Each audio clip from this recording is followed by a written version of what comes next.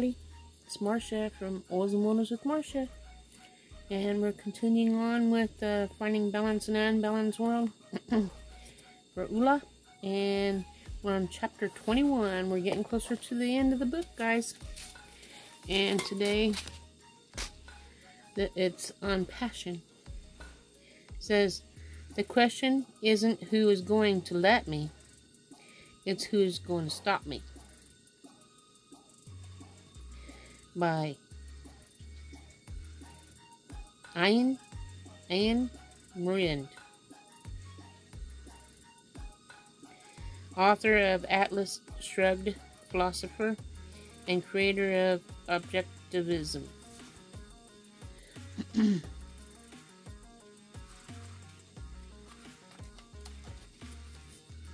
Passion is the trump card not only can it overcome virtually any ULA blocker that comes your way, it also has been the driving force behind every modern confidence and lifestyle benefit we enjoy today. We fly in airplanes and lifestyle benefits. I'm sorry, we fly in airplanes, we own smartphones, we shop online because at one time people um, were passionate about human flight, mobile technology, and building the internet. What is your passion about? What is your passion about? A goal fueled by passion will inspire you to overcome all blockers and spark your creativity, ingenuity, and determination. Hopefully, it's a goal that once you accomplish it, will up level everything you do. Uh, from how you live to who you hang out with to how much money you make and more.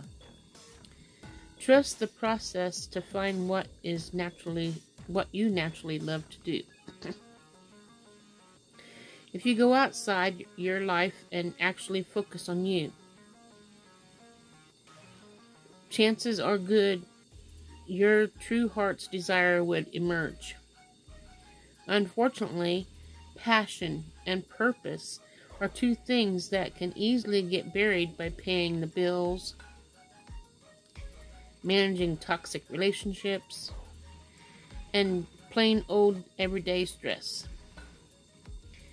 That's why we encourage you to trust the process of this book. Set your goals. Work to eliminate the blockers. Embrace the accelerators. Take action and begin your journey on the ULA life. As you start to achieve your goals, your purpose and your passion will appear. Tomorrow, I will be reading Tata, the Intern by Taylor LaGuardian, LaGuardia, LaGuardier. So that's all I have for you today. Hope you enjoyed it. And I'll see you tomorrow with another video. Sorry about this and being short.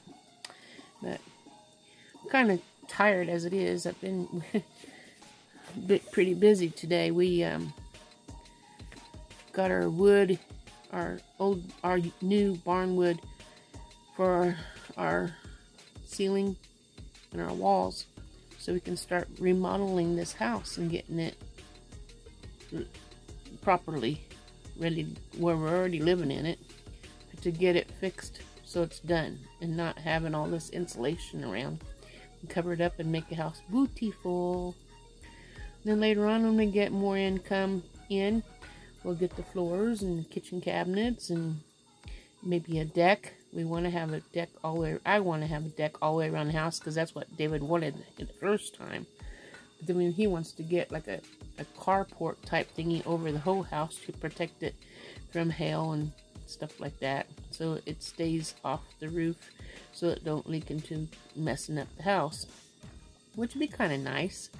Have a little bit more shade in the summertime make it cooler in here as well. Anyway, um, you can follow us on on remodeling and everything on my Kansas Misfit video on my Kansas Misfit channel. So check it out. See you guys later. You have a wonderful day. Ta ta.